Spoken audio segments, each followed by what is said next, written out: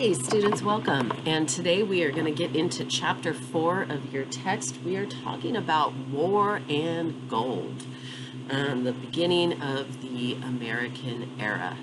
So this is part 1 of a two-part lecture. So let's begin. Lecture questions. So this part of chapter 4, we are going to be discussing how does the Mexican-American War begin? Uh, what is California's role in the Mexican-American War? How does the war impact California? And then finally, how does the California gold rush start? Here are our key terms for this lecture.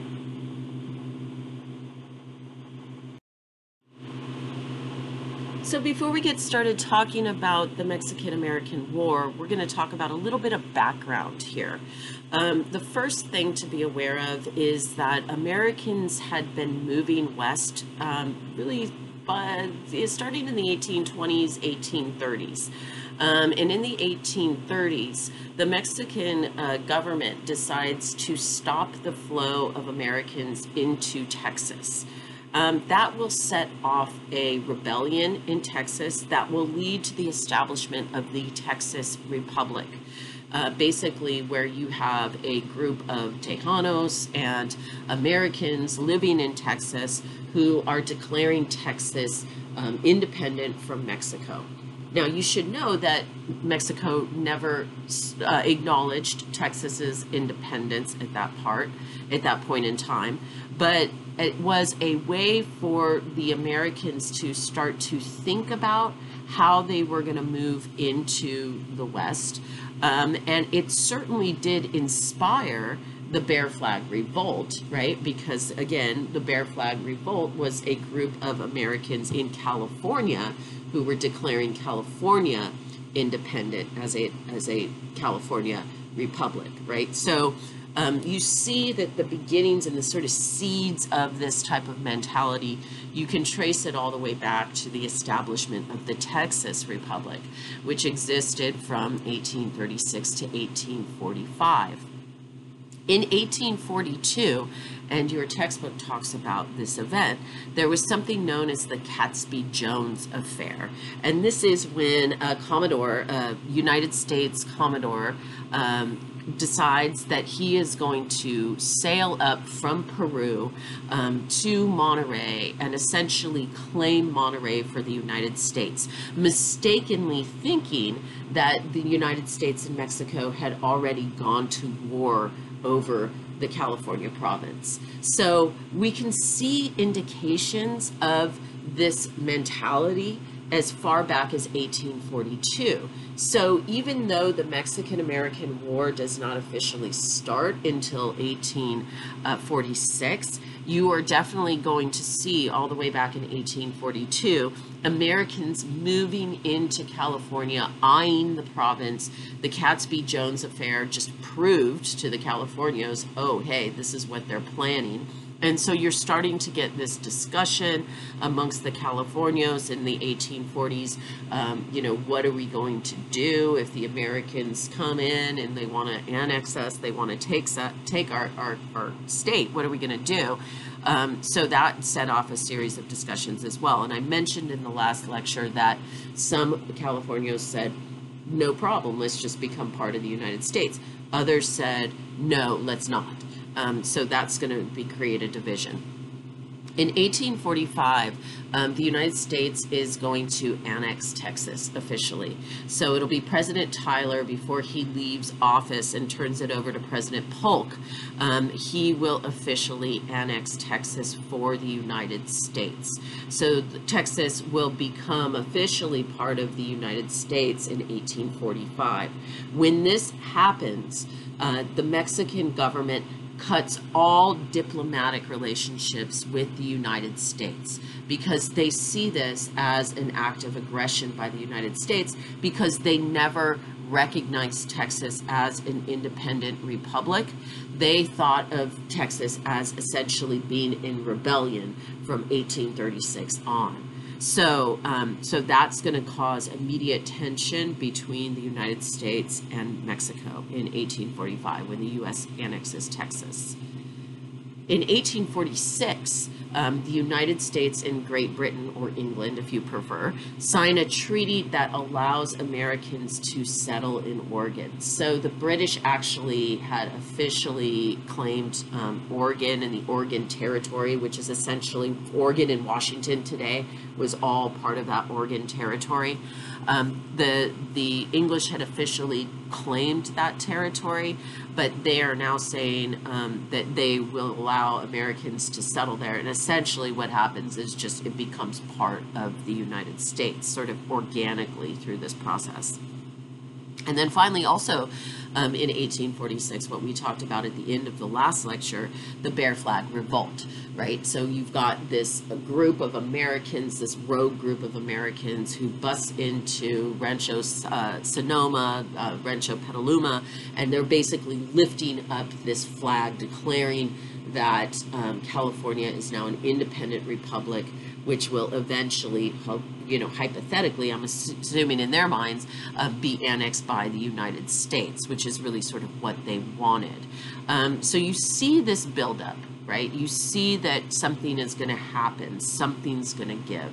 So now let's talk about how the actual start of the war happens.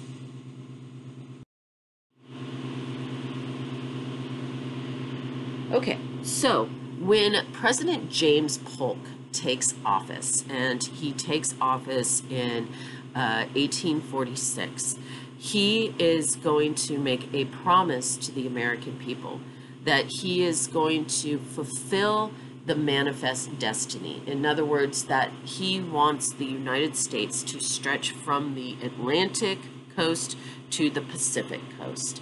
And he was willing to do just about anything to make that happen. And he really wanted, especially California. Because even though at this point they still don't know about the gold and everything else in California, they do understand that California is very strategically located on the western shores of the North America and that it is a already engaged in this Pacific trading network that could be very beneficial to Americans. And so President Polk essentially wants to pick a fight with Mexico. And the first thing that he does is he actually sends a diplomatic delegation down to Mexico City and headed up in this diplomatic mission is a man by the name of John Slidell. And John Slidell is basically tasked with going down to Mexico City and trying to negotiate a payment for California um, from the Mexican government. And California was, or uh, um, America was willing to pay $30 million to the Mexican government for this territory. The Mexican government just flatly refuses. Um, and so at that point, Polk becomes desperate. And he decides that he is going to send a military force into some disputed territory along the Mexican um, and Mexico and Texas border.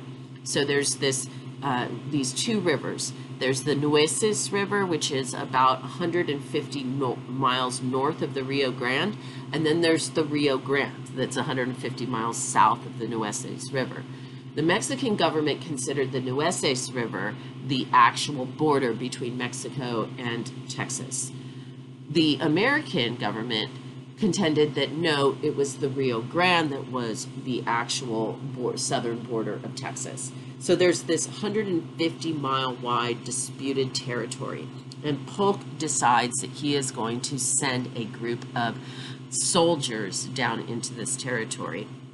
And it inevitably causes an armed conflict and dispute between a group of Mexican soldiers and a group of American soldiers. And uh, some Americans are killed in this armed dispute that takes place.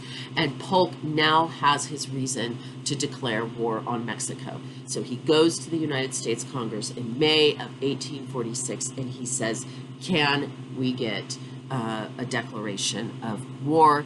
And the Congress voted for the war, but there were a lot of vocal opponents to going to war with Mexico.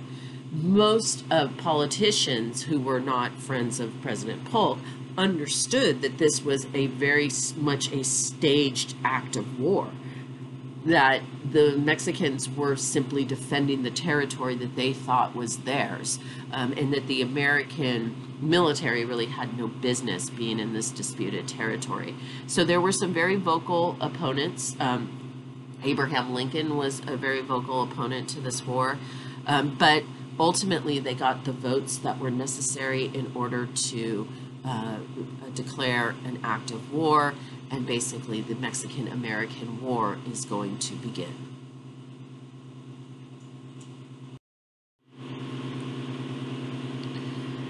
So, as I mentioned already, of course, California is a major motivation for going to war. Um, it was, uh, uh, you know, positioned um, perfectly for the Asian trade market.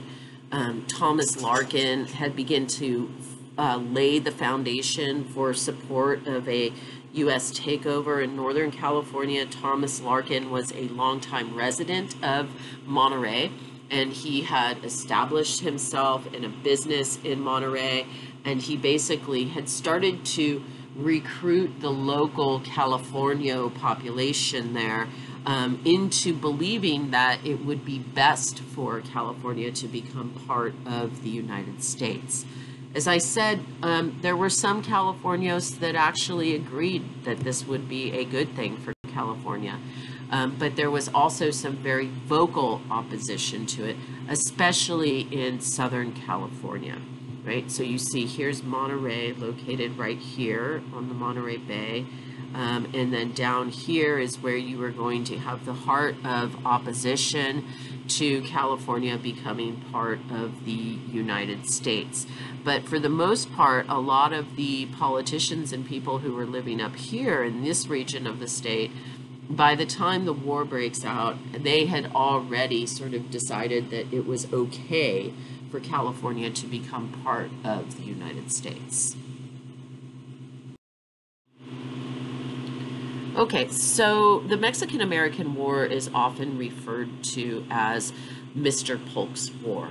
Um, and for obvious reasons that I've already mentioned, that essentially this war was instigated by the Americans. However, it was not an easily won war for the Americans. Um, most of the fighting will take place in um, Mexico and central Mexico, places like Monterrey, places like Veracruz, and eventually Mexico City as well. Um, when the war broke out, there was about 75,000 Mexican citizens living north of the present border. So these people are now going to have to decide um, which side are we on? Do we take the side of the Mexican government? Do we take the side of the Americans? Um, and as I mentioned in California, those two groups were already talking about this and had been divided on this particular issue. Um, so basically, what you're going to see are little pockets of resistance um, to uh, the Americans in California. Um, but as I said, most of the fighting is going to take place in Mexico. So a lot of the um, fighting is along the Gulf Coast of Mexico, and as I said, eventually Mexico City. Okay, so here we have a map, which is a wonderful thing because it tells us a lot. Um, so as I mentioned in already, here you have the Nueces River um, right here. And again, the Mexican government is saying this is the southern boundary of Texas. Um, and then here's the Rio Grande, and the Americans are saying this is the southern boundary of Texas.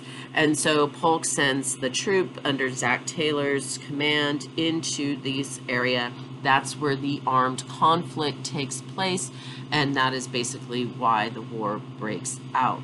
So once that happens, you're going to get some uh, American soldiers marching further down into Mexico, where there's going to be a series of battles near Monterey, um, down here in Tampico, down here in Veracruz, and eventually Mexico City. Um, you had Americans that were stationed in Mazatlan, um, so American Navy ships um, under the command of Commodore Sloat will leave Mazatlan and sail north, where they will go to Monterey. Essentially, Monterey um, gives capitulates to the Americans almost immediately. And as I mentioned, Thomas Larkin really had a lot to do with that. He had kind of laid the foundation for that to happen. So there's really no resistance here in Monterey. But keep in mind, and also keep in mind that Monterey is technically the capital. Um, here you have a map that shows the Fremont expedition. As I've already talked about, John C. Fremont came to California. He was basically a spy, um, but he was surveying and mapping the region and everything. And his headquarters was here at Sutter's Fort. Um, he is going to form the basis of the California Battalion, which is going to send an expedition down to Los Angeles. Because in Los Angeles and San Diego, there are groups of resistors to the American takeover. So, um, you're going to get the California Battalion, which is going to be led by Fremont, coming down into Los Angeles. They are going to be met with resistance. And then you're going to get Ker- uh, Kearny's expedition, also an American expedition, going overland into California where there will be a ma major battle, the Battle of San Pasqual, which will be the bloodiest battle in California during the Mexican-American War. Okay, so here you have like a timeline, and again, this is just basically so that you can have a sense of the way in which um, the Mexican American War unfolded in California. Um, so you've got Sloat and Stockton, both of them commodores uh, from the U.S. Navy, um, sailing into Monterey in July of 1846 and taking over Mon- Monterey easily, raising the American flag over Monterey. In July of 1846, the Fremont and the California Battalion set sail and they go down to San Diego.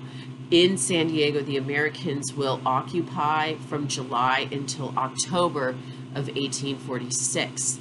Um, in September of 1846, a group of Californios um, led by Andres Pico and others will revolt in Los Angeles and take it back from the Americans. The Americans were also occupying Los Angeles at the time.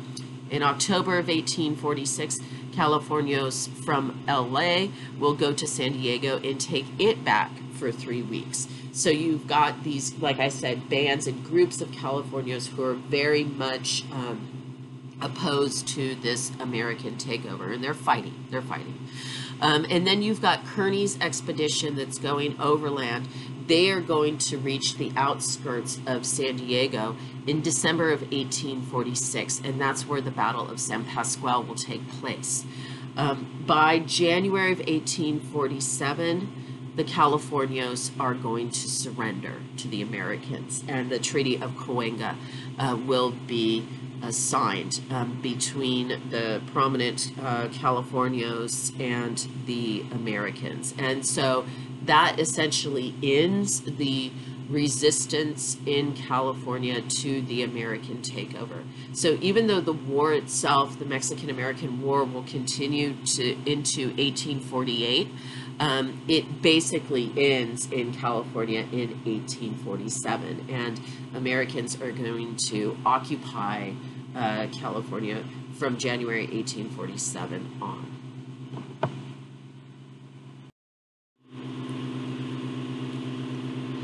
Okay, so as I mentioned, you know, there is uh, these pockets of resistance, mostly in Southern California, Los Angeles, in San Diego.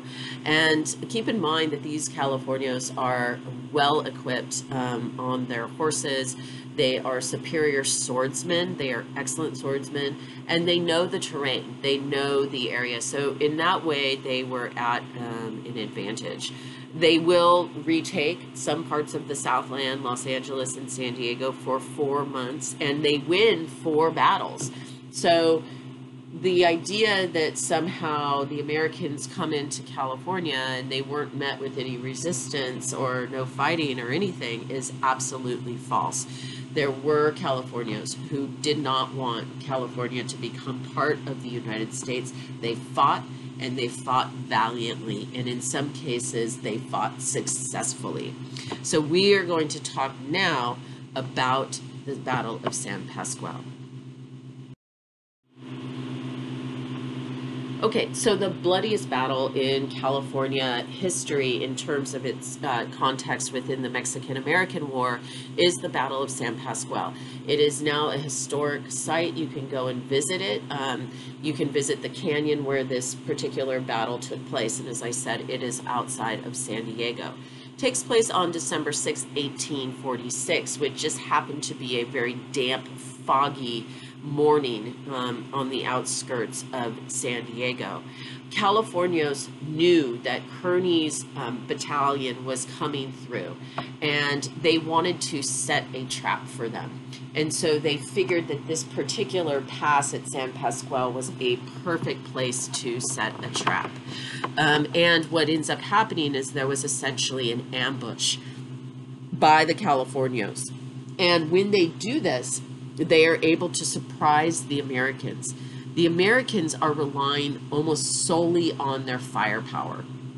And because it is such a damp, foggy morning, they are unable to successfully use their guns because of this foggy weather. Um, and so the sword becomes the primary weapon in this particular battle. And as I mentioned, the Californios were very good with the sword, and particularly on the backs of horses. Um, and so they were able to use this to their advantage. Ultimately, 21 Americans will die, including three officers. Uh, Kearny is wounded. 11 Californios were wounded, or and one was taken prisoner. Prisoner. However, even though this was a very dramatic victory for the Californios, ultimately the Americans are going to have such a powerful presence both via land and sea that the Californios will be forced to capitulate and sign the treaty um, in January of 1847, the Treaty of Cahuenga, which ends the fighting. But the Battle of San Pasqual can really be seen as sort of the high point of California resistance.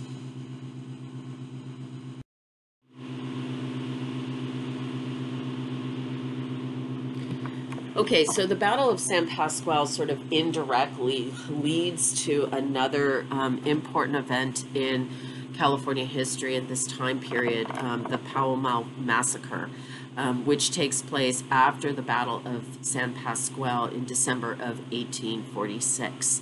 So there's about 11 Californios who are fleeing from the Battle of San Pasqual. They're trying not to get captured, etc., by the Americans. And they find refuge at the Pauma Ranch, um, which is located right here. So you can see here's the Battle of San Pasqual. Here's San Diego, okay? Here's the Battle of San Pasqual.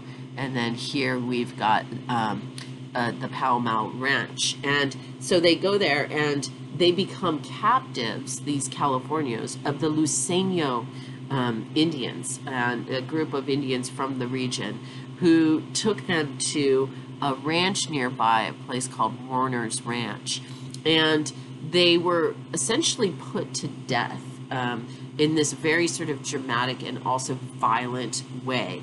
And um, they were tortured and it was said that they the indians who did this to the californios were very much influenced by an american who um, was uh, uh, was present and he basically had some kind of a personal um, beef with one of the californios. And um, and in response to this massacre and this torturing of these Californios, 22 Californios, along with a group of Cahuilla, will attack and kill 100 plus Luiseño Indians in revenge for the killing. This is known as the Temecula Massacre. So, what this shows you, um, and one of the reasons why I even mentioned the Pauma Massacre, which is something that is very much in the minds of the Luiseño and the Cahuilla, even to this day, um, most uh, people who are members of the tribe and that know anything about tribal history know about this particular event is it shows how interesting California's um, political dynamics were at this point in its history. You've got all these different players here right? You have got the Californios, right, who are the, you know, land owning elite of the state. You've got the native people who are being basically torn in a bunch of different directions. They are making alliances with different groups of people, right? And in this case, the Luiseno people made an alliance with an American and that American is there squatting as a foreigner in California, right? But he's has this influence on the local native population. Um, at the same time, some of these other Californios, they are aligning themselves with the Cahuilla, and the Cahuilla have decided to take the side of the Californios, and so much so that they are going back and they are murdering and massacring 100 plus Luiseno Indians in response to this uh, killing. So the, the thing that is so fascinating to me about the Pauma massacre is that it represents just this complex and in, in many cases almost twisted relationships that people had um, and different allegiances that people had to each other in early California.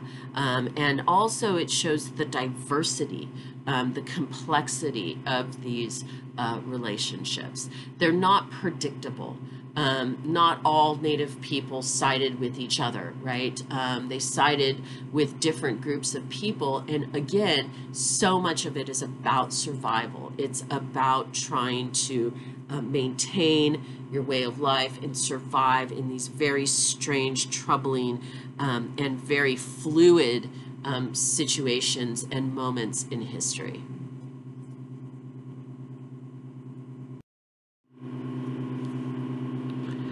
Okay, so back to the Mexican American War, which is going to conclude with the Treaty of Guadalupe Hidalgo, which will be signed in February of 1848 between Mexico and the United States.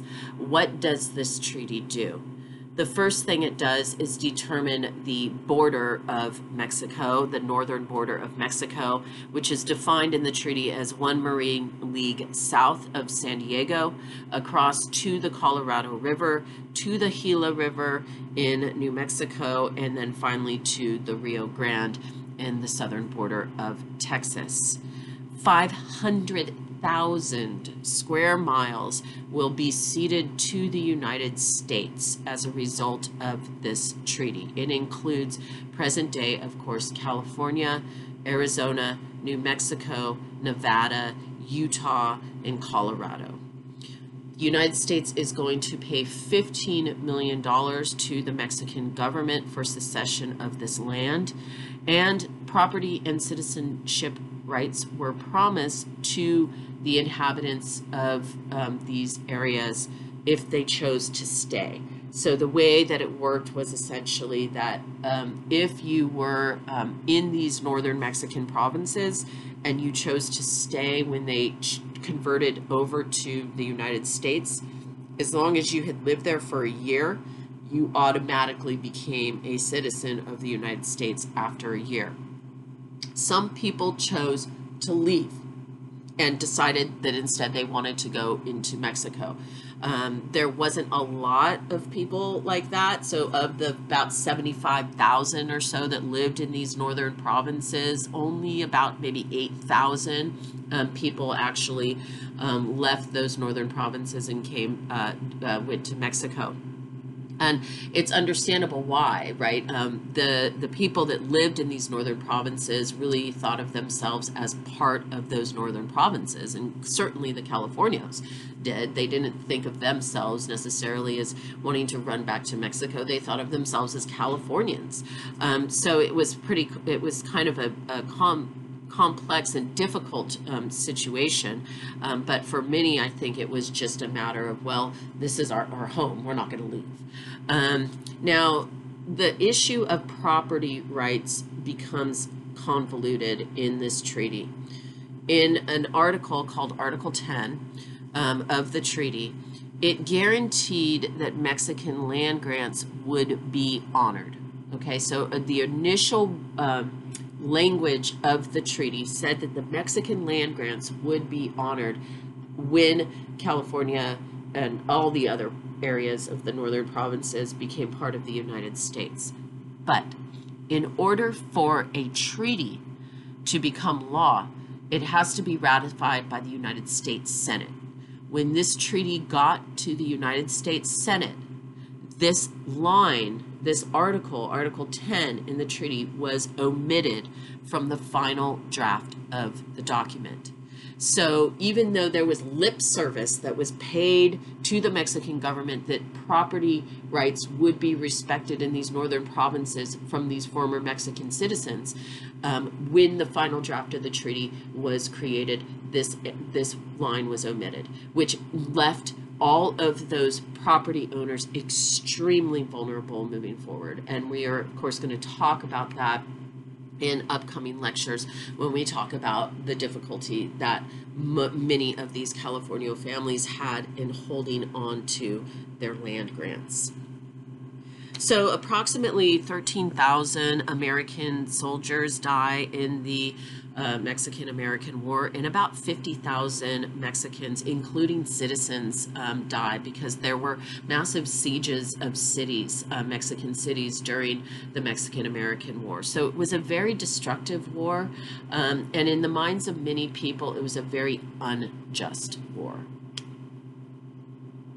I do have a link to uh, video on this war in the um, the video links, the instructor video links for this week. So please, if you get a chance to take a look at that, um, watching episode one of that part six series um, will give you a sense of how the war started and how the war unfolds.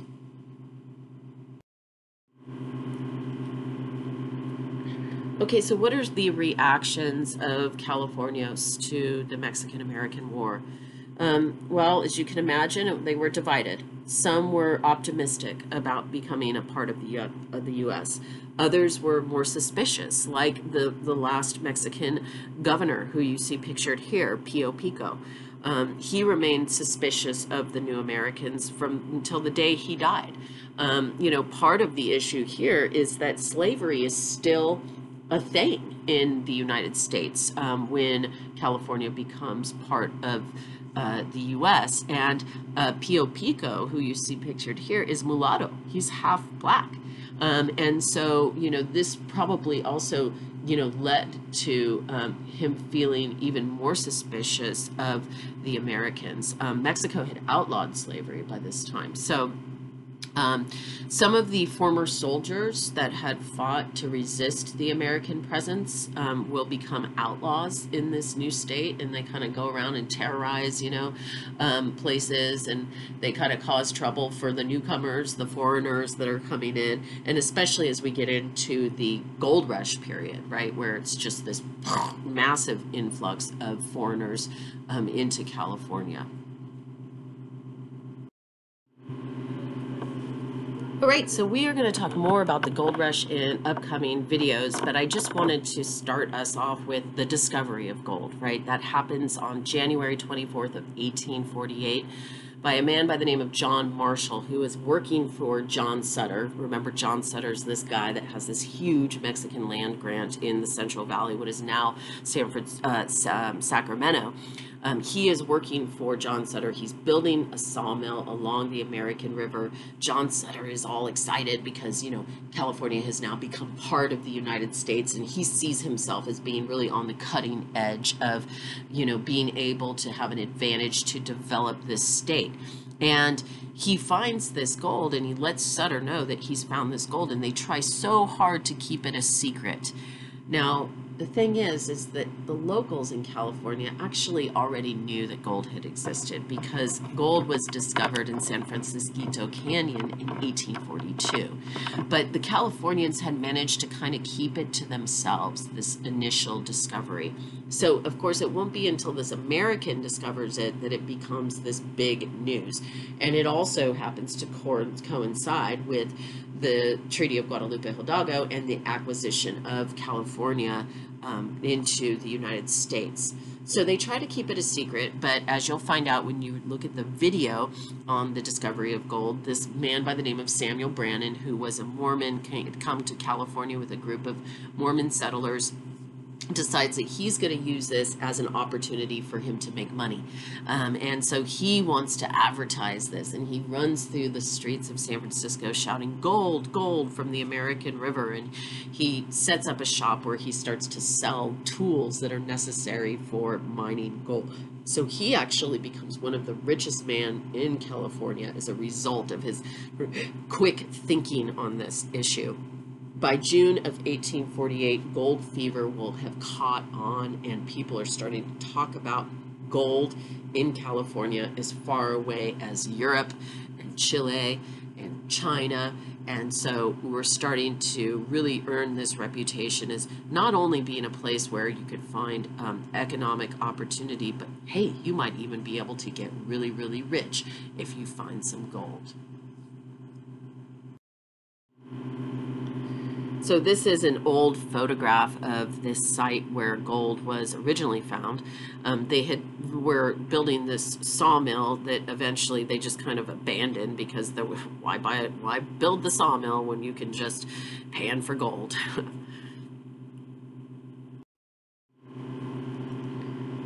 So miners, of course, rushing um, from all over the world um, to the American River and other places um, in the surrounding areas after the discovery of gold.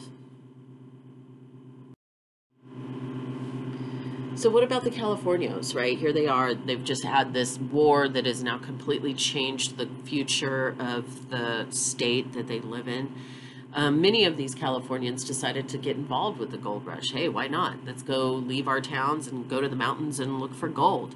Um, some uh, Californians were able to set up, you know, merchant uh, supply um, chains that were able to um, make them money, and so they were able to profit. Some of them from this.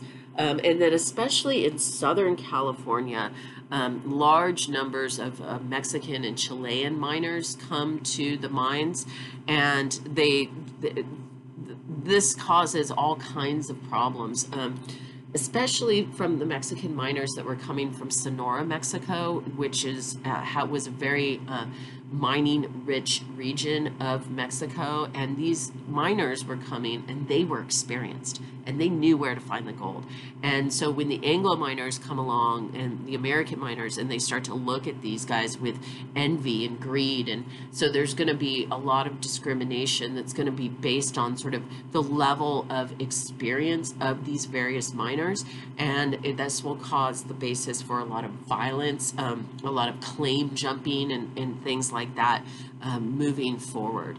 So the Californios, they kind of have this this mixed reaction really to the gold rush, right? Some of them get involved in it um, and are able to profit from it, and it goes well for them. Um, others are, you know, having to deal with this influx of people into their land, straining their resources, um, squatting on their land, um, mining maybe even on their land, right? So um, so it's a it's a mixed reaction. So the Californios um, are having to deal with not just the fact that they are now no longer part of Mexico, they're part of uh, the United States, but they also are now dealing with this influx of foreigners coming from everywhere, all over the world for the gold rush.